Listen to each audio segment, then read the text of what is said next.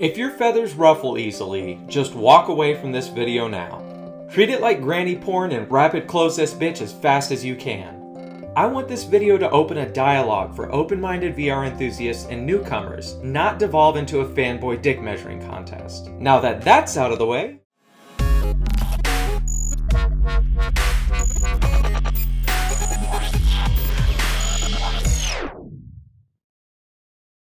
I don't intend this video to be the end-all be-all of Vive versus Rift comparisons, but almost every comparison video I've seen on YouTube comes across as incredibly biased. I wanted to contribute to the conversation with as neutral of a perspective as I'm humanly capable. Today I'm going to discuss 8 topics in order of importance. I'll talk about what I believe to be the most important buying factor first, then the second most important buying factor, followed by 6 others in decreasing importance. My intention is that you can rule out one headset or the other based on the most important factors, then decide how much the smaller factors matter to you. So with that in mind, let's talk about the most important decision-making factor. Which headset produces the best overall virtual reality experience? Based on my experiences so far, Oculus appears to have launched a better headset. It wins out on many of the finer points I'll discuss later, but HTC and Valve launched a superior virtual reality experience with the Vive.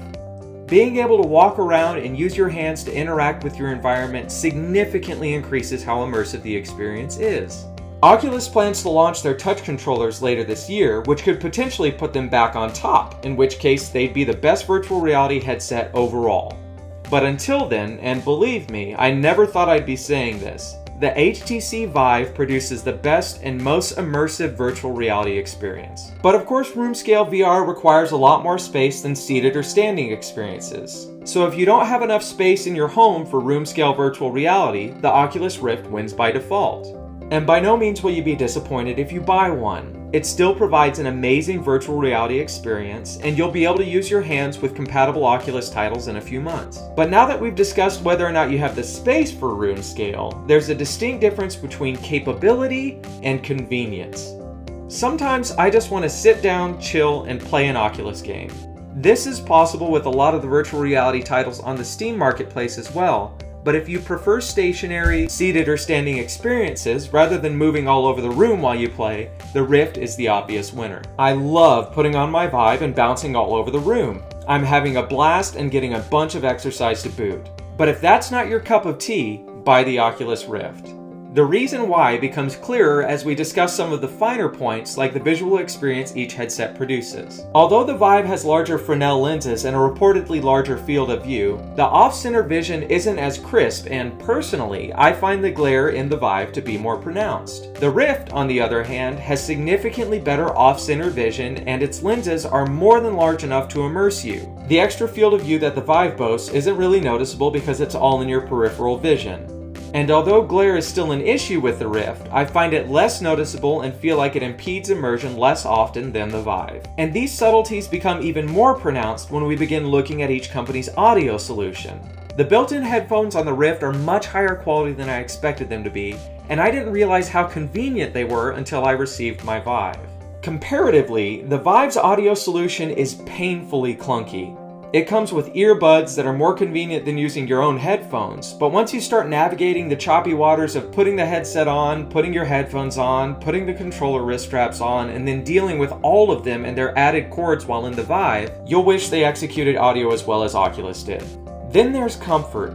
The Rift weighs less, is smaller, and has rigid support straps versus HTC's flaccid headband solution which hangs on your face noticeably heavier and the placement of the side adjustment straps was executed tremendously better by Oculus, whereas the Vives are seemingly always in the way of my ears no matter how I try to adjust it. Oculus went through a lot more testing and refinement in their design, and it really shines through when talking about comfort. With all of that being said, the Vive is still comfortable enough to wear for hours on end. That's why this wasn't mentioned until this point in the video. But unlike all of these points that, in my opinion, put Oculus clearly on top, Everyone loses when it comes to customer service. Neither company has a phone number you can call for help, which for a several hundred dollar tech purchase is pretty outrageous. I've had decent experiences with Oculus support. I've had horrible experiences with HTC. With Oculus, I've submitted a ticket on three occasions and had a response within 24 hours all three times. Not bad for a company that really fucked customers when it came to pre-purchase and shipping support. But with HTC, I filed a request eight days ago and still haven't heard back. I called into HTC's general support line and they told me that I would be forced to use the Vive's live chat support where I waited several minutes for an agent and once one connected, they dropped a few minutes later without saying a word to me or acknowledging the fact that they were ever there. Fortunately, I was able to solve the tracking issue I was having with my Vive by reading through some of the threads on Reddit but it took me hours to troubleshoot the problem on my own, and if I needed a replacement part, forget about it. I would have spent several more hours waiting, following HTC's shitty step-by-step instructions back and forth via live chat, not even on a fucking telephone, and waiting for my replacement part to arrive after sending my dysfunctional component back. Their slogan should be HTC Vive support, not even once. So even though both options are shitty, Oculus wins out here too. Let it be known, however, that I've read my fair share of Oculus support fumbles online too, but my personal experiences lead me to believe that they're more dependable on the whole. And that brings us down to aesthetics. Which device looks better? Of course, this is the most subjective topic discussed in this video, but I think the Oculus Rift is significantly more attractive than the Vive. But that's just me. You've seen plenty of 4K ultra high definition shots in this video and my reviews of each headset, so you probably know which one you prefer aesthetically by this point in the video. Now that we've covered all my totally subjective observations, let's descend down to complete speculation. Who's going to come out on top in the long run? Truth be told, picking one would be kind of like saying Xbox is going to lose and PlayStation is going to win. In the end, I think they'll both win. The differences are pronounced right now, largely due to the fact that Oculus launched without motion controllers, but in the coming months when the playing field is leveled, who comes out on top? Again, this is pure speculation, but I think as long as they stop bending customers over and fucking them every chance they get, Oculus comes out on top. They already win on all of the finer points. The only thing that puts them behind overall is the lack of touch controllers, which Oculus users hope to God they haven't launched yet because they're perfecting the technology before launch. Even in pictures, the touch controllers look like a much more natural and elegant solution compared to Vive's wands. Oculus has several virtual reality visionaries on board, and ultimately they've had a lot more time to get the technology right. I think this really shows when comparing the headsets side by side, and ultimately, I think it'll show in the virtual reality experience as well. But does that mean that anyone buying the Vive now loses? Definitely not.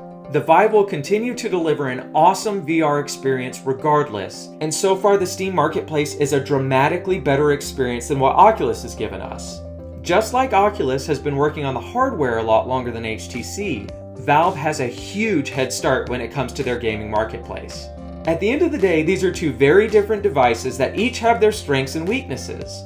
If I couldn't afford them both and I had to choose one today, I'd choose the HTC Vive. If I wanted to buy the headset I thought would be the winner in the long run, I'd buy the Oculus Rift, or at the very least, wait until the touch controllers are released so that I could make a completely informed decision. Trust me, there will be plenty of people, myself included, making videos reevaluating these solutions side by side once the touch controllers come out. There are no losers here. Both headsets are amazing, enjoyable, and create remarkable virtual reality experiences. At the end of the day, it comes down to what's right for you, and I sincerely hope this video helped at least get you closer to knowing which purchase works best for you. If you want even more detail, I'll be releasing a ridiculously in-depth buying guide by May 30th, which will detail everything I've discussed here and a whole lot more. It'll be free to download at virtualrealitybuyingguide.com. Thank you so much for watching, and again, I hope you found this video helpful. If so, don't forget to say thanks by pushing the thumbs up button below as many times as YouTube will let you, which, spoiler alert, is once, and subscribe to my channel to be notified when I post ridiculously informative videos in the future. My name's Ian, I'm the Virtual Reality Ginger, and this video is finally over. Thanks for sticking it out all the way to the end, and I'll see you in another, much shorter video soon.